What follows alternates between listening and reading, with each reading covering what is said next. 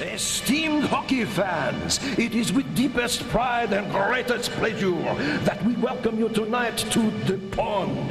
We invite you to relax and take your seat as the city of Anaheim, the National Hockey League, and the Mighty Ducks celebrate a new era in sports entertainment. For this story, we have to go back, all the way back to 1966. Professional sports is probably not the first entity that comes to mind when thinking about Walt Disney or his company. As early as 1966, Walt Disney was involved with Gene Autry and the California Angels. Though the extent to which Disney participated in professional sports is limited, the company bearing his name would later change the sports landscape forever. In 1984, the Walt Disney Company was preparing to undergo its first major executive transition in its 61 year history and its first attempt to integrate outside leadership into the CEO and president positions. Throughout the next 21 years, under the leadership of Michael Eisner, the Walt Disney Company would seek to diversify their business in many ways. This is the story of one of their most expensive endeavors, which included the purchase of an MLB team, the expansion of an NHL franchise, and the city caught in the middle. The new executive team of Michael Eisner and Frank Wells would not wait long to begin making a major impact on their new partnership at Disney.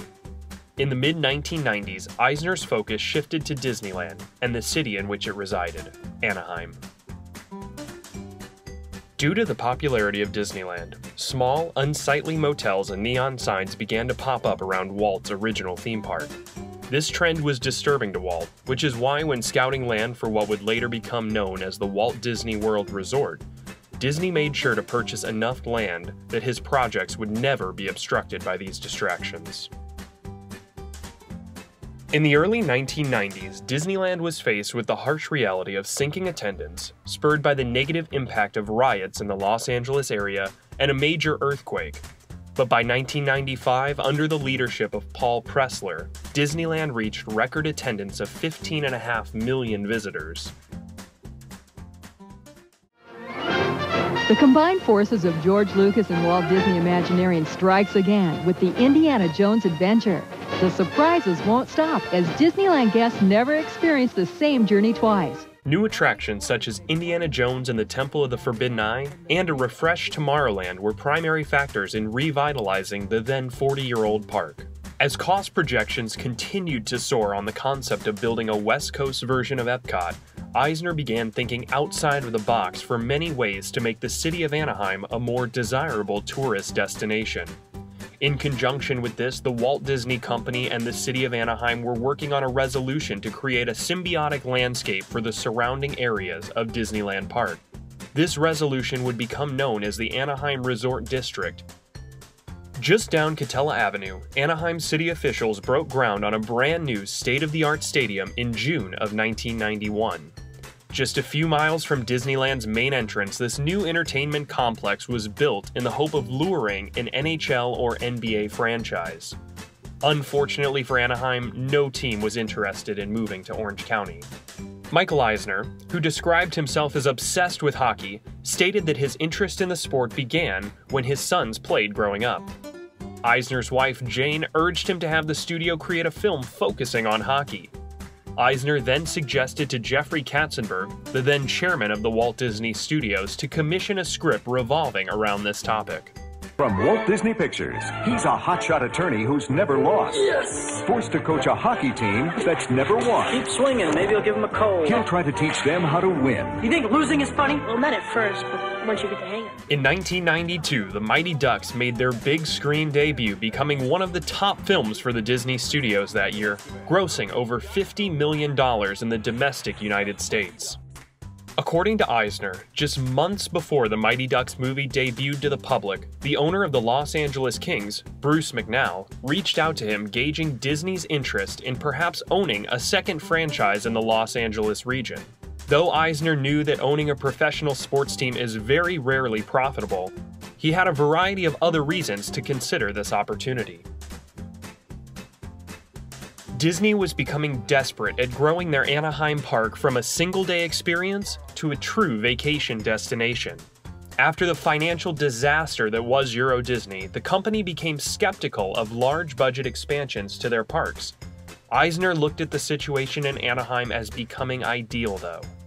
There was a brand new $110 million sports arena that was fully funded by the city of Anaheim and their taxpayers, just miles away from Disney property, yet no team to officially call it home.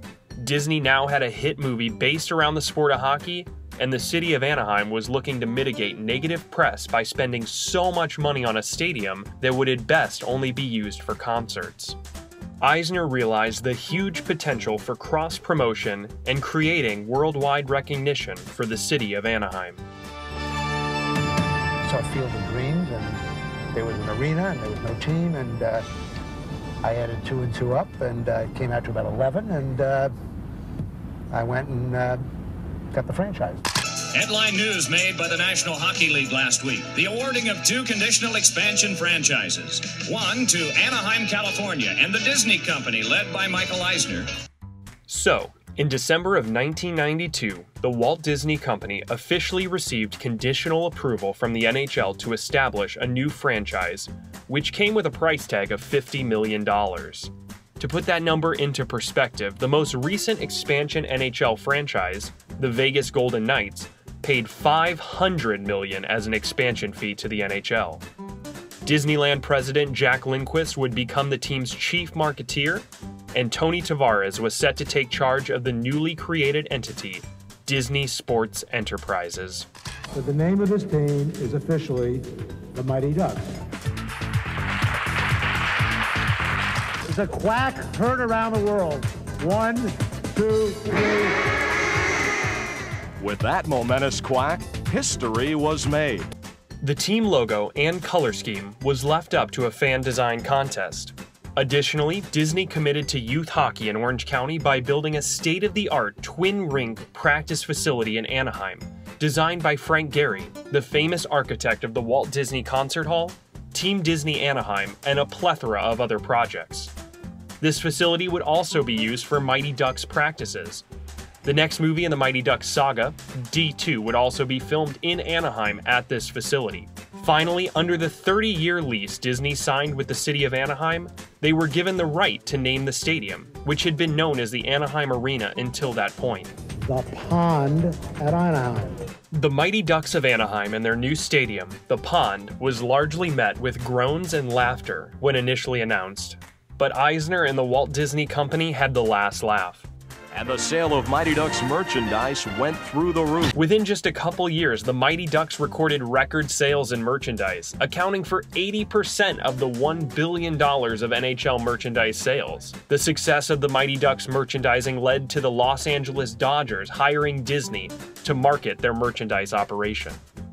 Under Disney, the Mighty Ducks of Anaheim were initially a great investment for the company.